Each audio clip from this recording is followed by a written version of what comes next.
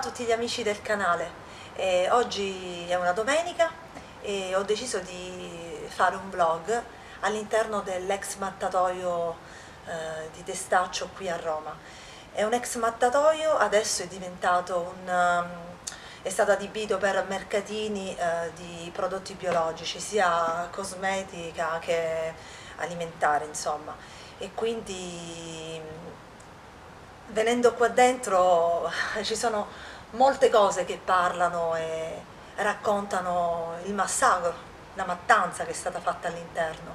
Quindi si respira ancora un'aria eh, abbastanza pesante, macraba, lugubre e questo è veramente molto toccante. E, è vero, se i mattatoi avessero le pareti di vetro credo che in molti inizierebbero a quantomeno riflettere e a non mangiare più carne. Ovviamente con uh, l'espansione della città era impossibile mantenere questo mattatoio perché effettivamente le grida si sentivano e si sentivano anche tanto. Quindi questo è uno dei motivi per cui il mattatoio è stato chiuso. Eh, vi faremo vedere un po' tutto quello che c'è all'interno e ovviamente anche la parte dei mercati, visto che sono per lo più tutti giovani che fanno prodotti casarecci, prodotti fatti ma a mano, e tutta roba naturale, biologica, quindi è bello da una parte venire qui a fare degli acquisti eh, con la consapevolezza che sono prodotti ottimi e naturali, però come ho detto prima si respira quell'aria pesante e c'è proprio mm, l'odore di morte rimane comunque. E niente, facciamo questo giro.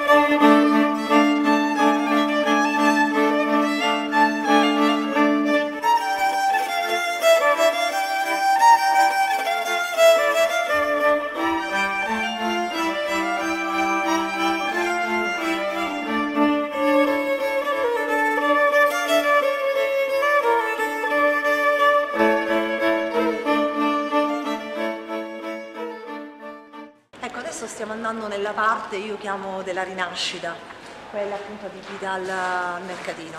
Entriamo e andiamo a vedere.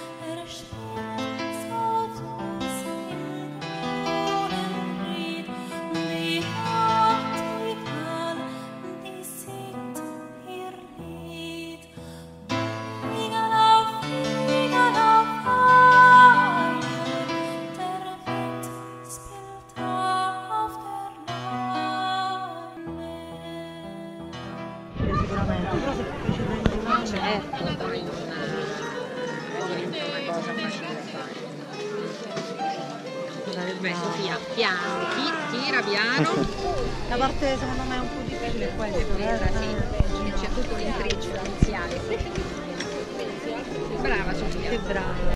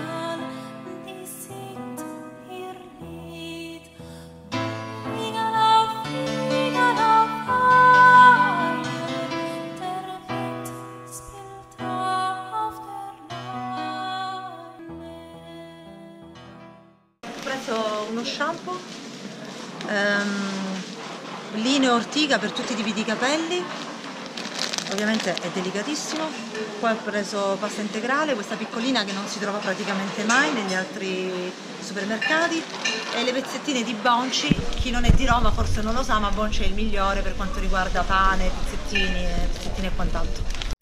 Allora, tavolinetto, Oh, seggioletta. Prima ovviamente ho dimenticato di dire che qui avremmo anche incontrato Mario Domini, l'eremita, e lui approfitta di questi posti per eh, fare volantinaggio e far vedere i propri manifesti, quindi oggi in questo vlog eh, ci sarà anche lui che è sempre una bella, una bella cosa.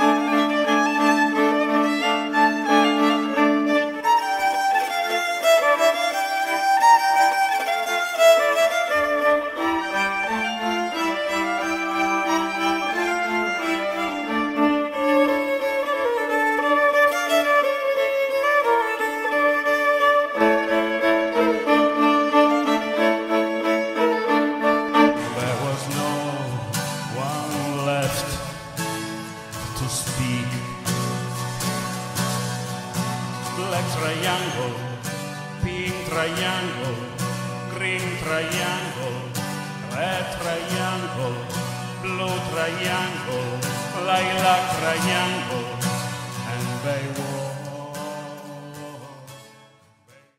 Allora, come avete visto, Mario si è organizzato alla meglio perché praticamente mh, all'interno, dove c'è il mercatino vero e proprio, dove vi abbiamo fatto vedere prima, ci vuole, ovviamente ci vuole un permesso e l'organizzatore ha detto eh, non c'è problema, però eh, mm, Bisogna fare una richiesta in anticipo tramite mail. Esatto. E per quanto riguarda i commercianti è 25 euro diciamo, l'affitto del suolo, diciamo così.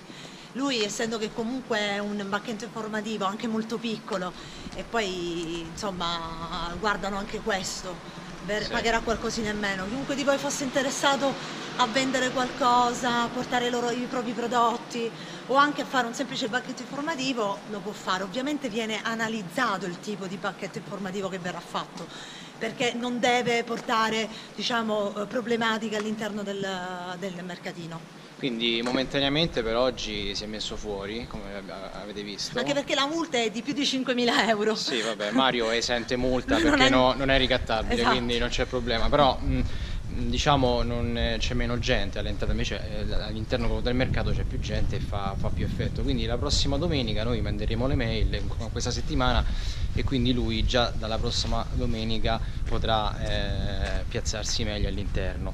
E quindi niente, noi comunque metteremo questo- questa prima parte di video così eh, eh, tanto per far conoscere Mario a chi ancora non lo conoscesse. No, ma anche a tutte quelle persone che mi scrivono in privato che vogliono conoscerlo. Ora io ovviamente mi sto riferendo ai romani.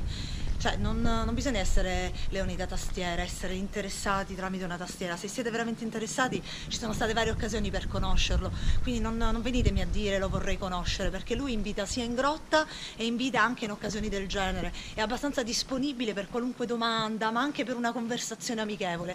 Quindi eh, dovete approfittarne in questi momenti, non scrivermi in privato a me, poi alla fine non, eh, non- non c'è nessuno neanche oggi. Ok.